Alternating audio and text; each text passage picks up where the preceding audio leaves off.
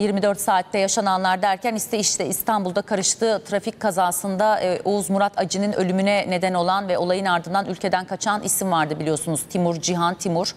Yargılanmasıyla ilgili o süreci takip ediyoruz. Süreç Amerika Birleşik Devletleri'ne devam ediyor, yargılanıyor. ABD savcılığı Timur Cihan Timur'un Türkiye iadesini ve kararın onay için ABD Dışişleri Bakanlığı'na sunulmasını istedi. Son gelişmeleri sizler için derledik.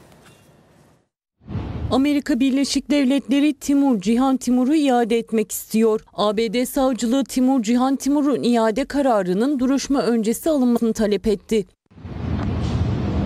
Oğuz Murat Acı 1 Mart'ta İstanbul Kemerburgaz yolunda 17 yaşındaki Timur Cihan Timur'un kullandığı aracın çarpması sonucu hayatını kaybetti. Timur Cihan Timur aynı gece annesi Eylem Tok tarafından önce Mısır'a oradan da ABD'ye kaçırıldı.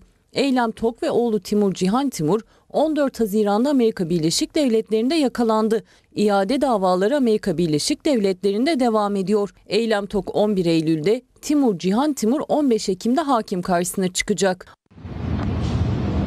ABD savcılığı tutuklu yargılanan Timur Cihan Timur'un Türkiye'ye iadesini talep etti. Voice of America'nın haberine göre savcılık Timur Cihan Timur'un Türkiye'ye iade kararının onun için ABD Dışişleri Bakanlığı'na sunulmasını istedi. Cihan Timur'un yargılandığı mahkemeye sunduğu dilekçede sanığın Türkiye iade edilmesiyle ilgili kararın yapılacak duruşma öncesinde alınmasını istedi. Savcılık Cihan Timur'un avukatlarının daha önce hakime yaptıkları başvuruda davanın düşürülmesi talebine de itiraz etti. Savcılık yapılacak iade duruşmasında mahkemenin kararı ile ilgili bir değişiklik olmayacağını belirtti. Yani iade duruşması usulen yapılacak. Dilekçede sanığın yargılanması iade edileceği ülke olan Türkiye'deki mahkemede yapılacaktır denildi.